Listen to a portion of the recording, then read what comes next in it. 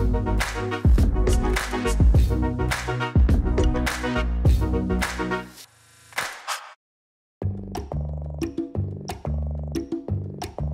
TCL Chinese Theater IMAX was built back in 1927 by Sid Grauman, and he was really Hollywood's master showman.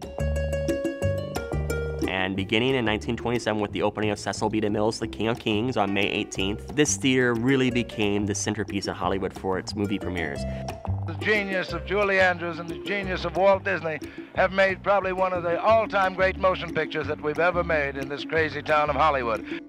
Now, of course, the thing that everyone really knows about the forecourt is the hand and footprints. And that, ironically enough, was not part of the original plan of the theater.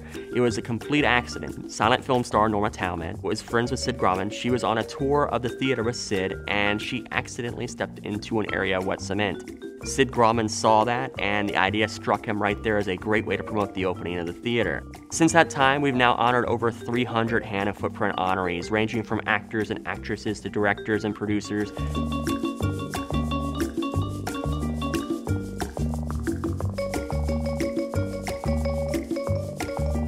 But one of the really best kept secrets of the theater is the beautiful and ornate architecture inside the auditorium.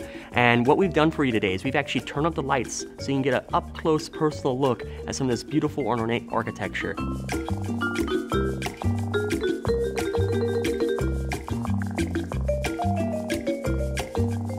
If you come to experience a movie or take a tour here at the TCL Chinese Theater, in the lobby you're actually going to see costumes worn by some of the actors and actresses who have had their movies premiered and played here at the theater over the years.